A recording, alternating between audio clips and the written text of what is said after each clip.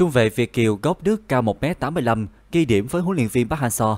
Quý vị và các bạn thân mến, làm câm nín những ngôi sao hàng công của Hoàng Anh Gia Lai trong trận đấu vừa qua, trung vệ Việt Kiều Adriano Smith có thể được huấn luyện viên Park Hang-seo để mắt tới. Sau đặng Văn Lâm, câu lạc bộ Hải Phòng lại có thêm một cầu thủ Việt kiều chất lượng nữa ở hàng phòng ngự, đó chính là trung vệ Adriano Smith, người mang trong mình hai dòng máu Việt Đức. Trên sân nhà Lạch Tray, vào ngày 6 tháng 4 vừa qua, anh đã làm câm lặng những ngôi sao tấn công của Hoàng Anh Gia Lai để đem về chiến thắng 1-0 cho đội bóng đất cảng. Smith khá thân thiết với Đặng Văn Lâm, cả hai đã từng có thời gian thi đấu cùng nhau tại lượt về Việt League 2018. Vì vậy, anh hiểu rất rõ rằng chỉ có nỗ lực không ngừng mới giúp cho anh ghi điểm trong mắt huấn luyện viên Park Hang-seo nhằm có cơ hội giành một suất khoác áo đội tuyển Việt Nam tham dự giải Kings Cup ở Thái Lan vào tháng 6 tới đây. Huấn luyện viên Trương Việt Hoàng đã có những lời nhận xét có cánh dành cho cầu thủ sinh năm 1994 sau nửa mùa giải làm quen và thích nghi với môi trường mới.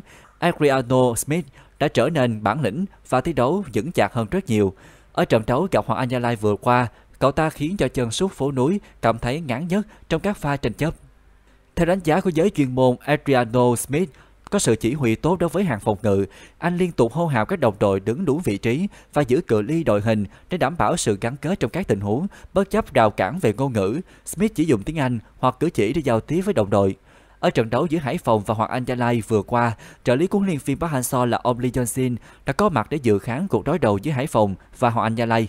Chắc chắn là việc chơi tốt cũng đã ít nhiều giúp cho Adriano Smith ghi điểm với nhà cầm quân người Hàn Quốc. Dù hiện tại tuyển Việt Nam đang không thiếu những trung vệ chất lượng như Quế Ngọc Hải, Đỗ Duy Mạnh hay là Trần Đình Trọng, nhưng một người có chiều cao tốt như Smith 1m85 đã hoàn toàn có thể trở thành quân bài hữu dụng về sau. Nếu tiếp tục duy trì phong độ tốt, việc anh được triệu tập lên tuyển sẽ là một điều không quá bất ngờ.